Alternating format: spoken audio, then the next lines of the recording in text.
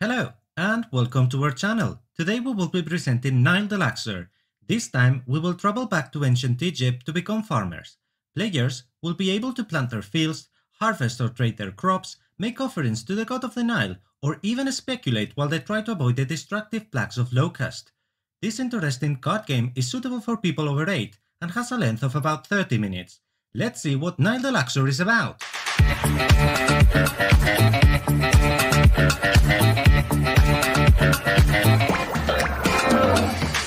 In addition to the rulebook, we find 98 harvest cards divided into seven different crops, each with a different color.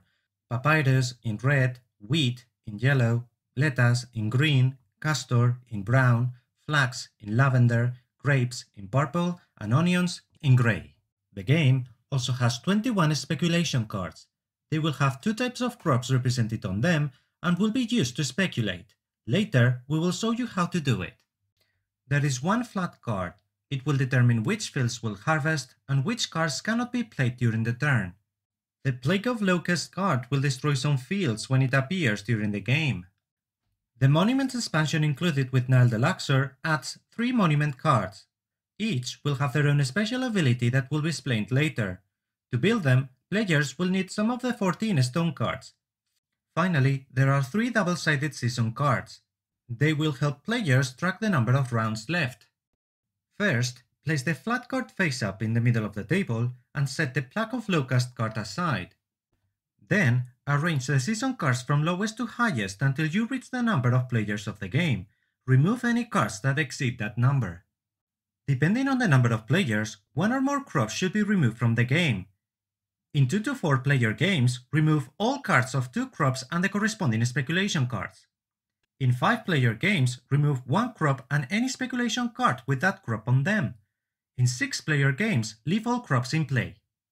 With the Deluxe edition, there are also stone and monument cards. If you are not playing with the Monuments expansion rules, remove these cards from play as well. Shuffle the remaining cards well and deal each player 5 cards. Mix in the Plague of Locust card with the remaining cards and place the deck face down as the draw pile. To conclude, randomly select a starting player by any fair method. On their turn, players must follow these steps in order. The first action would be flooding. The topmost card in the draw deck is turned face up and placed on top of the flood card. This card determines which fields will harvest and which cards may not be used during this turn. The second action will be harvesting. All the players must check the card revealed in the flooding phase. In this case, grapes are harvested. Any player who has the crop represented on the card currently flooded, regardless of whose turn it is, removes the top card in that crop's field and places it face down into their individual storage pile. The storage pile is a collection of all the players' harvested crops. Apart from serving as their score and determining the winner, these cards may also be traded throughout the game. The contents of the storage pile must be kept secret from the other players. If the flood card is a speculation card, it will show multiple crops. When this happens, both crops are harvested. In this case, players could harvest papyrus and flax. The third action, which is optional, will be trading. There are two options for trading, the market and offerings to Hapi, and for both of them, players are required to discard any two cards from their hand or the storage pile. If the player decides to use the market, after discarding two cards, they will get one card from the draw pile to add to their hand. If they decide to make an offering to Hapi, after discarding two cards, the active player replaces the current flood card with a new one from the top of the drawing pile. This new flood card causes a new harvest and prevents certain cards from being played. Players may trade using one or both options in any order and any number of times per turn. Planted cards in player fields cannot be traded. The fourth action, which is also optional, will be planting or speculating. This step is regulated by the flood card. Any cards showing crop types that are currently flooded may not be played during this step. In this example, players won't be able to use papyrus cards. To plant, players must place crops from their hand face up in a column in front of them, forming one or several fields.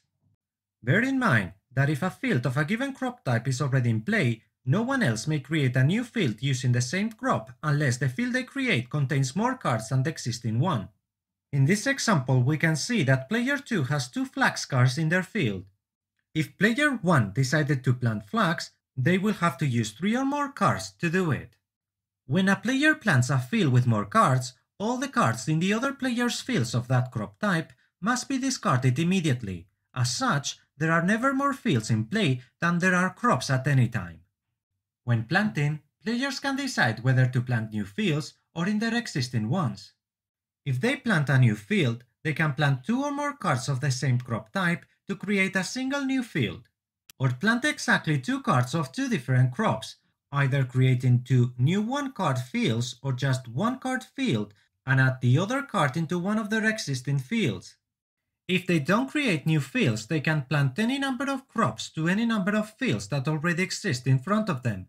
Instead of planting, the active player may play one or two speculation cards. As with planting, speculation cards showing crops currently flooded may not be played.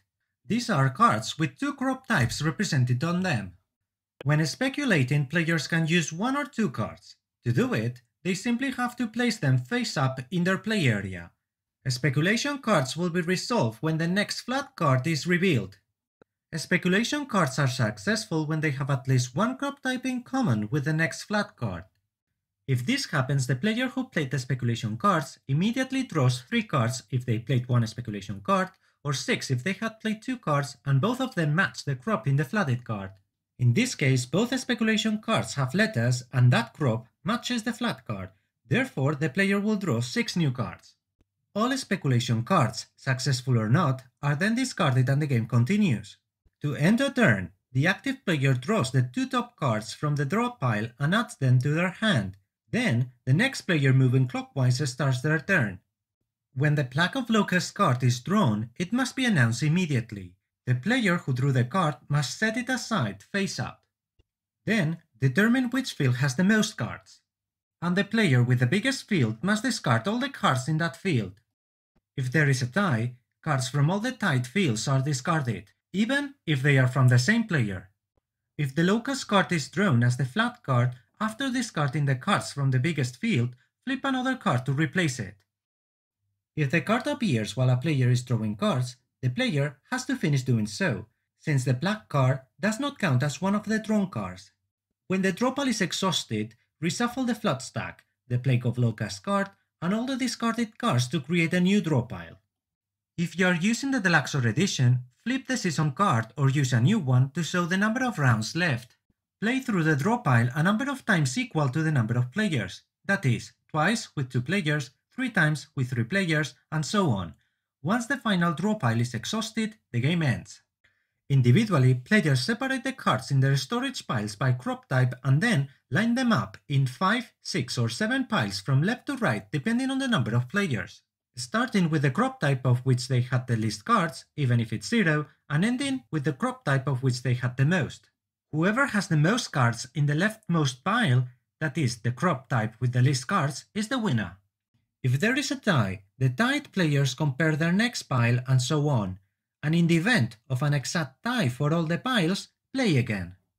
In the expansion for Nile, players also compete with each other to build monuments. Having a monument grants them special abilities that will help them throughout the game.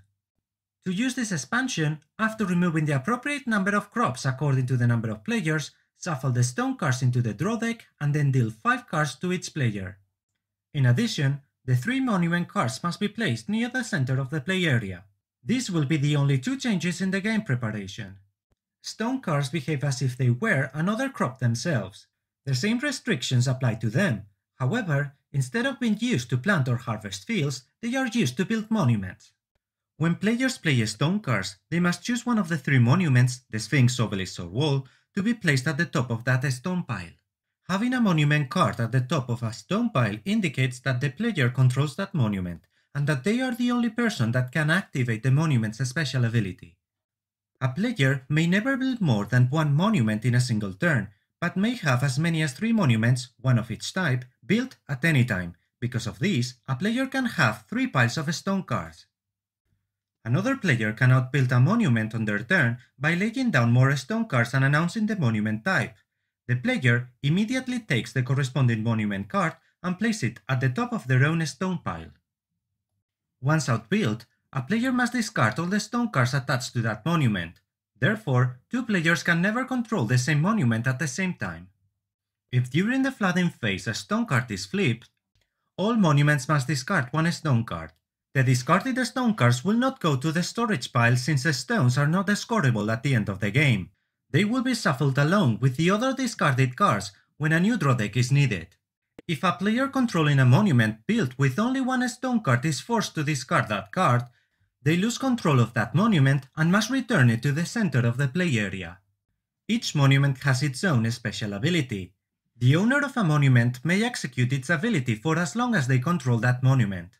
If a player has multiple monuments in play at the same time, they are allowed to use all their special abilities. The player with the Sphinx can harvest two cards each time the resources are flooded, instead of one. The owner of the obelisk draws 3 cards at the end of its turn and earns 4 cards instead of 3 for each successful speculation.